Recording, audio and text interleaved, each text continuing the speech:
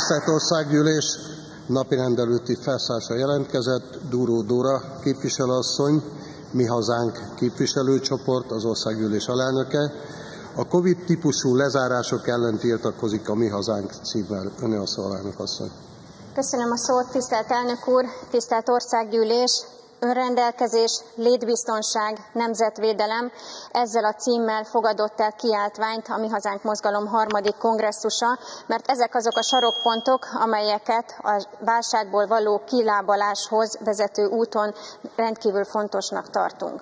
Az önrendelkezés elsősorban az élelmiszer önrendelkezésünk megteremtésére vonatkozik, tehát a Mi Hazánk mozgalom azt tűzi zászlajára, hogy a mezőgazdaságot meg kell erősíteni, ebben a családi gazdaságokat kellene támogatnia a kormánynak az oligarchák helyett, és nem a külföldi tőkebeáramlás növelése kellene, hogy a cél legyen, ugyanis Orbán Viktor, amikor közzétette azt a listát, azt a tízpontos listát, hogy ő miben látja a válságból való kilábalásnak a sarokpontjait, akkor ebben az önrendelkezés nem szerepel, ezzel szemben a külföldi tőkebeáramlást növelni akarja a kormány. Olyan helyzetben tűzi ezt a célt zászlajára Orbán Viktor, amikor a magyarországi autógyártók és a multinacionális kereskedelmi láncok nagyságrendileg annyi pénzt visznek ki Magyarországról évente, amennyit a kormány teljes egészében a rezsivédelmi alapba betervezett. Ez egy gazdasági tévút, ehelyett vagyonadót kellene kivetni az oligarchákra, és digitális adót az óriás tech cégekre. A létbiztonság vonatkozásában a rezsi áfáját el kellene engedni, ahogyan azt már a Mi Hazánk Mozgalom itt a házban is többször ö, ö, követelte a kormánytól, illetve a rendszerhasználati díj eltörlését is a zászlónkra tűztük, de az élelmiszer árak elszabadulása sem lenne ilyen mértékű, hogyha a gazdasági és elsősorban mezőgazdasági önrendelkezés irányába mozdulna el a kormány, vagy mozdult volna el az elmúlt 12 évben, amelyre a lehetőségük megvolt, de ezt elszalasztották.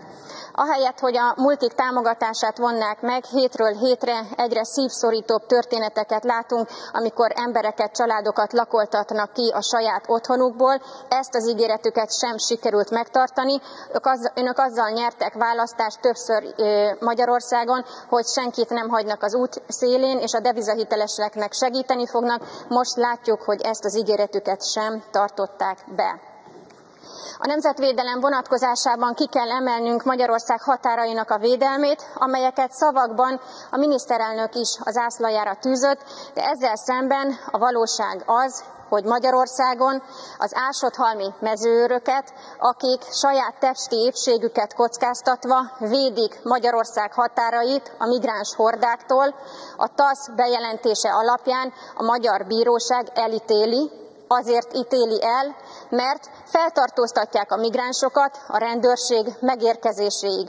Döbbenetes, felháborító, hogy azokat a családapákat, akik egyébként ketten tíz gyermeket nevelnek, megbírságolja a magyar bíróság, a nemzetellenes TASZ bejelentése alapján, mert kukoricásban több tucat migránst feltartóztatnak, semmilyen erőszakot velük szemben nem foganatosítanak, csupán megvárják a rendőrség érkezését, és egyébként végig kell nézniük, hogy ezeket a Magyarországra illegálisan betörő migránsokat ezt követően a rendőrség, már ha van elég létszám és ténylegesen tudnak intézkedni, visszakíséri szépen a határ túloldalára, hogy másnap ismételten megpróbálkozhassanak be betörni Magyarországra. Olyan emberekről beszélünk, akik éjszaka is a családjukat hátrahagyva sokszor száz migránssal szemben intézkednek és őrzik Magyarország határát, rendészeti vizsgával rendelkeznek, és az eskügyükhez híven azon a területen, amely az ő illetékességükbe tartozik, igyekeznek Magyarországot és a magyar nemzetet védeni.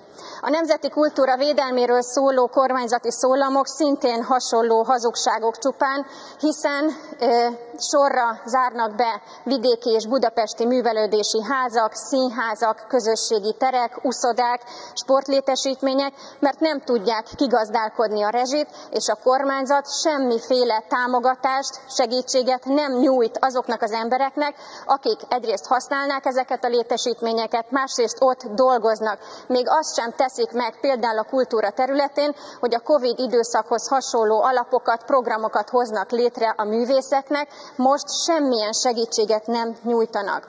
Önrendelkezés, létbiztonság, nemzetvédelem, ez a kilábalás útja a mi hazánk mozgalom szerint. Köszönöm a figyelmet.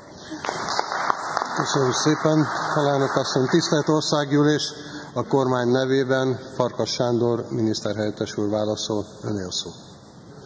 Tisztelt elnök úr, tisztelt képviselő asszony, hát az ön napirend előtti felszólalása elég széles témákat hozott fel, úgyhogy erre így válaszolni ennyi idő alatt rendkívül nehéz, de azért megpróbálkozom. Ön legelőször is az élelmiszer árakra vonatkozóan tett fel kérdéseket, gondolatokat. Itt szeretném határozottan elmondani önnek, hogy ezek az élelmiszer árak, amelyek Magyarországon itt az elmúlt hónapokban kialakultak, ezek jelentős részben azoknak a energetikárt érintő brüsszeli szankcióknak a hatására alakult ki, ami egyértelműen a háborúnak is a következménye. Magyarországon ezek az élelmiszer árak jelentős részben energiát, energia felhasználást is tartalmaznak, energiára van szükség, és ezek az energiárak jelentős részben átmentek a fogyasztói árakban.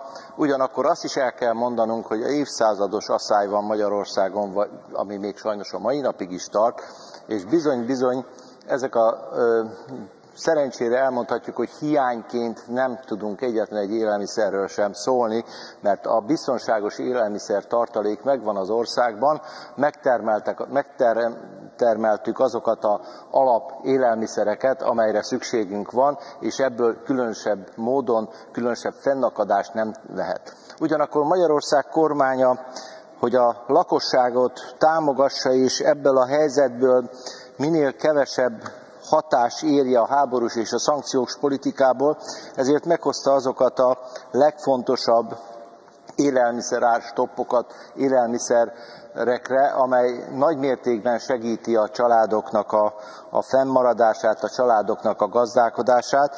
Itt csak említést teszek arra, hogy tavaly október közepe óta rögzített a kristálycukorára, búzafinomlisztára, napraforgó étolaj, sertésszomb, csirkemel, csirkefarhát, a 2,8%-os UHT tehintej. Ezek az árucikkek mind a legalapvetőbb élelmiszer szükségletünket fedezik, és ebből meg is van az a mennyiség, ami a biztonságos ellátáshoz és a biztonságos étkezéshez szükséges. Ez, ezek az áruféleségek, amelyekről itt ön is szólt és én is szóltam, egyértelműen a magyar gazdáknak a teljesítménye, a magyar gazdálkodóknak az eredményét tükrözi. Volt egy másik felvetés, azt gondolom a, a pártjuk ö, elnökének a hovatartozása és a munkájához kapcsolódott ez az ásodhalmi mezőri szolgálat. Az ásodhalmi mezőri szolgálatról annyit szeretnék mondani, hogy az elkövetkezendő hetekben, hónapokban várhatóan ugyanolyan támogatásban fognak részesülni a mezőrök, mint eddig is. Ugye ott a kiemelt szolgálat, a határa, migráció, ez a, ez a több mint 200 ezer migráns, aki Magyarországnak a határát döngeti, ez, és ugyanakkor azok az emberek, akik esetleg átjutnak ezen a határon, rendkívül komoly mezőgazdasági és anyagi károkat okoznak az ott lévő embereknek, ezért Magyarország kormánya úgy döntött, hogy a mezőri szolgálatot is megerősítve Ásodhalom és a déli határvidéken egyértelműen biztosítjuk ezeket a feltételeket, hogy nem csak a határvadászegységek, nem csak a honvédség, nem csak a rendőrség, hanem a mezőri szolgálat is megfelelő védelmet nyújtson minden magyar állampolgár számára. Tisztelt képviselő asszony, az ön által felvetett kérdések, azok mind olyan kérdések, amelyek arról szólnak, hogy hogyan lehet a Magyarország kormányát minden esetben, minden felszólásban negatív módon feltüntetni. Én nagyon megkérem önt és a pártársait arra, hogy higgyék el, és nem csak ez hit kérdése, hanem azok a döntések, azok a kormányhatározatok is mind azt bizonyítják, hogy mindent megpróbálunk is, mindent meg is teszünk a magyar lakosság, a magyar társadalom minden egyes személye iránt, minden támogatást megkapnak annak érdekében, hogy ne vesztesként, hanem mondhatnám azt megerősödve kerüljünk ki ebből a helyzetből. Ugyanakkor elfogadhatatlan számunkra az, hogy a magyar emberekkel próbálják Brüsszelből megfizettetni a háború és a szankcióknak a költségeit, úgyhogy kérem önt, hogy ezeket reálisan értékelje. Köszönöm szépen.